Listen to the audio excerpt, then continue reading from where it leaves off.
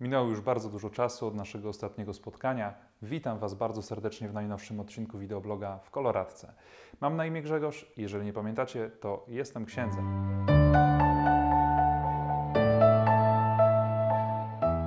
Dzisiaj chcę Wam opowiedzieć o filmie Zmartwychwstały. Trwamy w okresie e, wielkanocnym, w okresie, w którym radujemy się ze zmartwychwstania Chrystusa. I ten film myślę, że jest idealnym na e, ten czas, na ten moment, na ten okres roku liturgicznego. Zapraszam serdecznie. When the Messiah comes, Rome will be nothing! Until then. The Nazarene he'd rise again after three days. We will lose peace and order if it's true. Will the people believe it? The weak will. There will be no other gods.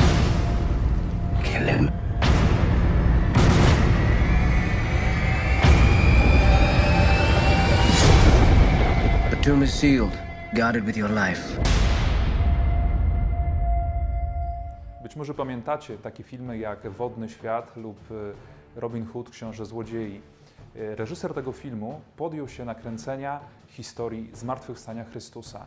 Y, Kevin Reynolds, bo o nim mowa, dokonał tego dzieła w bardzo przejmujący i intrygujący sposób. Nie skupił się wyłącznie na Jezusie, na uczniach, ale spróbował zobaczyć całą tą, to wydarzenie, całą tą sytuację e, z perspektywy żołnierza, e, żołnierza rzymskiego, Klawiusa, który był e, centurionem. Początkowo oczywiście żołnierz nie wierzy w żadne zmartwychwstanie, jest to dla niego jakaś bajka, jakiś mit, jakaś powiedzmy legenda, którą uczniowie próbują, e, próbują przekazać innym, jakiś, jakiś fałsz e, i skupia się na tym, aby znaleźć ciało Jezusa. Podejmuje wiele wysiłków, wyznacza odpowiedzialnych, przesłuchuje, przesłuchuje e, kolejnych uczniów, przesłuchuje Marię Magdalenę, ale jakoś nie, nie, nie pojawia się perspektywa znalezienia ciała, ciała Jezusa.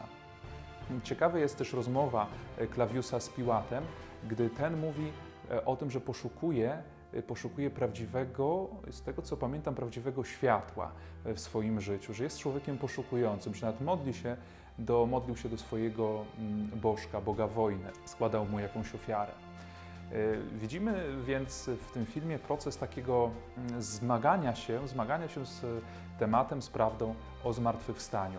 Dalsze losy filmu nie powiem, bo kurczę, nie chcę Wam zepsuć seansu, ponieważ dokonuje się bardzo niezwykła zmiana, bardzo niezwykłe y, spotkanie. Pewnie się domyślacie z kim i co to za zmiana, ale posłuchajcie, naprawdę warto zobaczyć ten film. Dla mnie y, była to taka swego rodzaju medytacja z perspektywy żołnierza rzymskiego, z perspektywy centuriona, który w tej roli, z tej perspektywy ogląda całą prawdę zmartwychwstania. Budzą się w nim wątpliwości, pytania, zdziwienie, zdumienie, zaskoczenie y, i coraz więcej, coraz więcej pytań.